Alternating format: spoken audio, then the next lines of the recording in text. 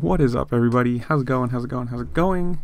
So, if you didn't hear, if you live under a rock, Danger Boy Deegan, Haiden Deegan, is now signed with Star Racing Yamaha.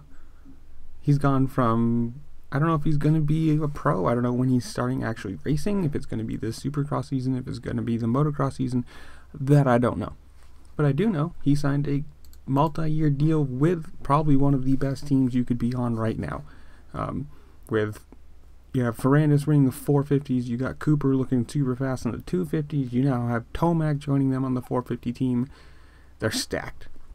And then you add Deegan, who is probably one of the best highly sought talents you could probably say coming out of the, the amateur ranks right now with all the championships he's won with how fast he's looked on the super minis and the 125s and whatever the question is how is he going to step that from the small bikes amateur racing to the big bikes pro racing?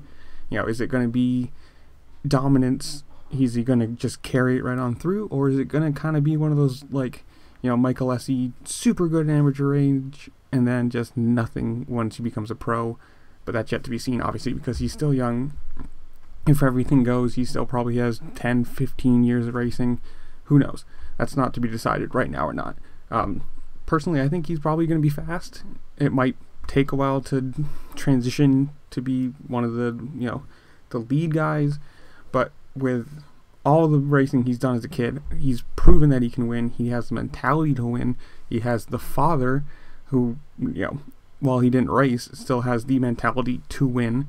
Um, I think it's a really cool thing. I mean, obviously, being everyone knew he was this is what was going to happen didn't know the team, didn't know where he was going to go, but obviously being how how explosive he's been in the amateur race, he was going to get one of the best rides you could possibly find. Now, jumping from the KTM to a Yamaha, how that how that's going to affect, who knows? Um, but it is what it is. I'm super excited to see where this goes. Uh, tell me in the comments down below. Do you think he's going to do good? Do you think he's going to do bad? Do you hope he does good? Whatever it is. But just tell me what you think.